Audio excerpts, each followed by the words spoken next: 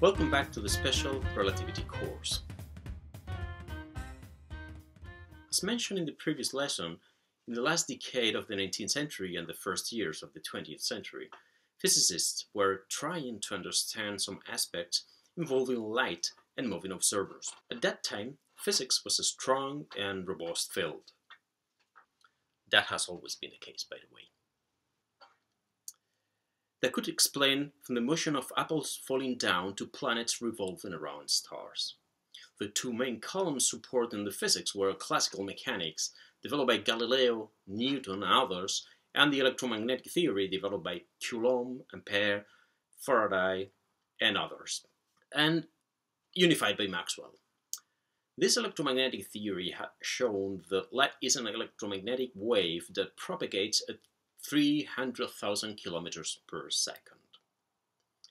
Both theories were very robust, but when trying to explain phenomena where both were relevant, they found some issues.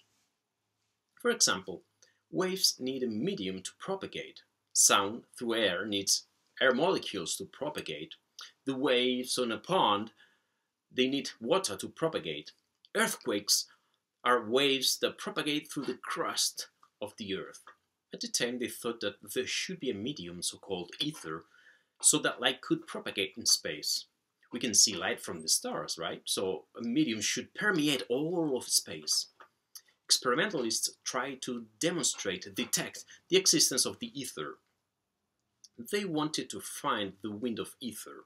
When you run on a calm day without wind, because of your relative velocity with respect to the air molecules, you experience a wind.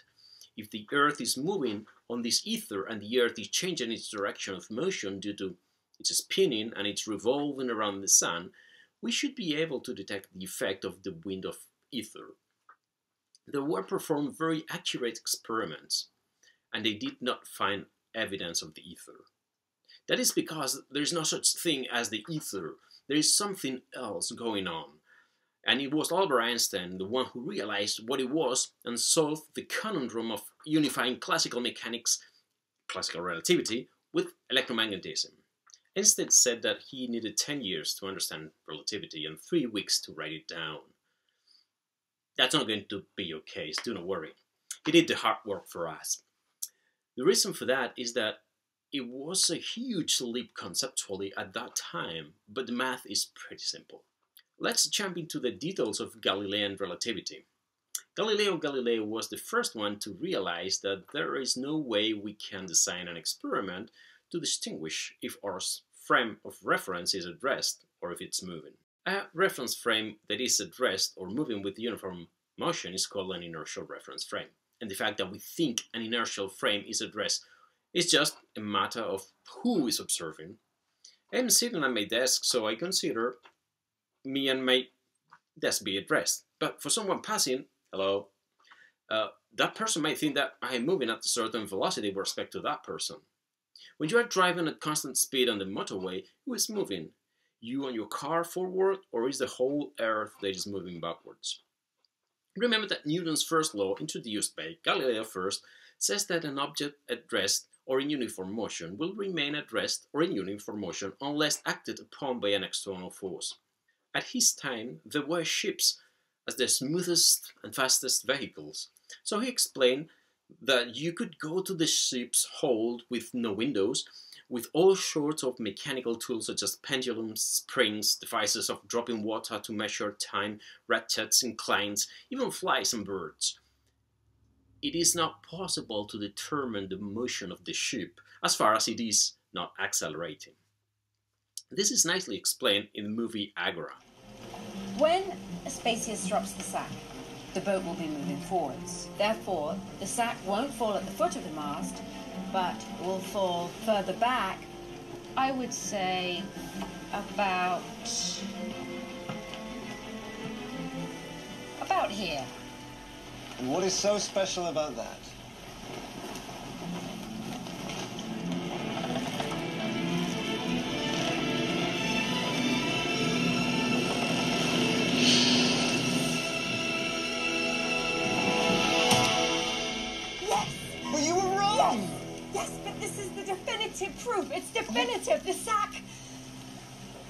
Sack behaved as if the boat was stationary.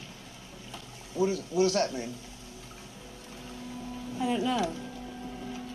Well, relativity is the branch of physics that relates the measurements of an observer on a ship and an observer on shore.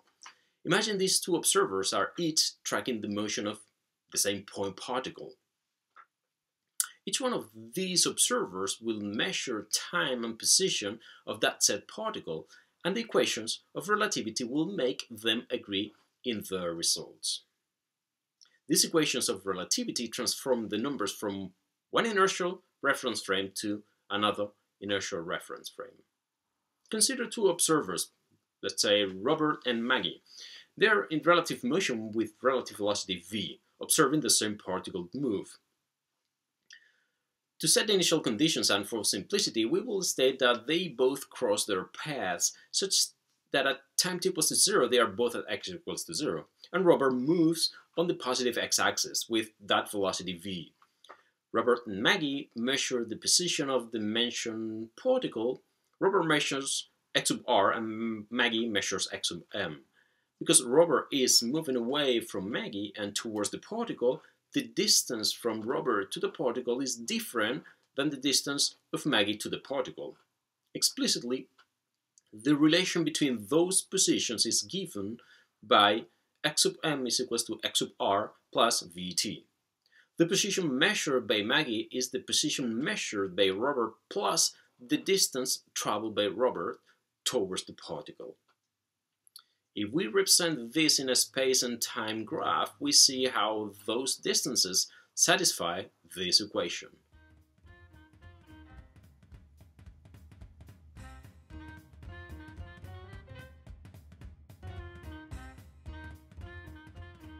If we derive with respect to time to obtain the relationship between velocities, we obtain that the velocity sub m is equal to the velocity sub r plus v, which intuitively makes sense. Imagine you travel on a train at 100 kilometers per hour and you throw a ball forward at 1 kilometer per hour.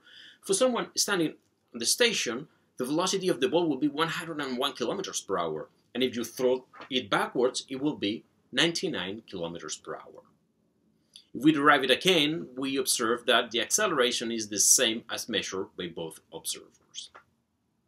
Well, this is Galileo relativity. These equations can extend to three dimensions and any initial conditions.